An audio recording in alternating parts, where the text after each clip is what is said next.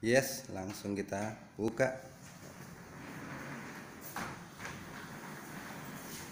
Pintu sliding 4 daun 4 track.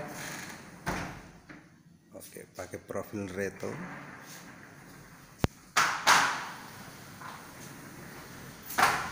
oke.